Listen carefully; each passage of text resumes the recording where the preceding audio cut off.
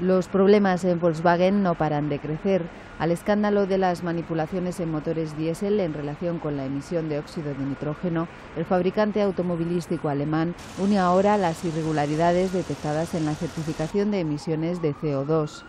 Estas afectan a unos 800.000 vehículos del grupo, principalmente de motores diésel. Traducido en costes, la empresa habla de 2.000 millones de euros en una primera evaluación. Estos se sumarían a la provisión de casi 7.000 millones de euros anunciada en septiembre tras desvelarse el trucaje de los diésel, que afecta a 9 millones y medio de vehículos en todo el mundo.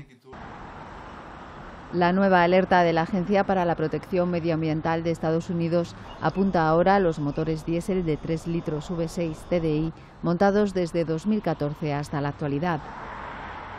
Estos contarían con un programa informático que sabe discernir cuando está el vehículo en un banco de pruebas para cumplir con los límites de emisiones.